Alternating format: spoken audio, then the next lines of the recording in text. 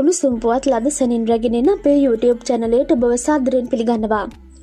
බදින තුවක්කුවක් ක්‍රියාත්මක වී පිඩු සිගා වැඩි හිමිනමක් අපවත් වෙයි. පන්සිය ගම නාවයන ආරණ්‍ය සේනාසනය වැඩවාසය කරන හිමිනමක් පිඩු සිගා වඩිමින් සිටියදී බදින තුවක්වක් ක්‍රියාත්මකවීමෙන් දනි හිසට වෙඩිවැදී පසුව ඇලක් අස ලිවරේ මිය ගොස් සිටියදී පොලිසිය විසින් සොයාගෙන තිබෙනවා. පන්සිය ගම නාවයන ආරණ්‍ය සේනාසන ආසන්නේ ඇල පාරකට වැටී හිමි නමක් මියගොස් ඇති බවට පන්සියගම පොලිසියට ලද තොරතුරකට අනුව කළ විමර්ශනයකදී මෘත ශරීරය සොයාගෙන තිබුණා. බදිනතුවක්කු ඇටූ පුද්ගලයකු මේ දක්වා සොයාගෙන නැත.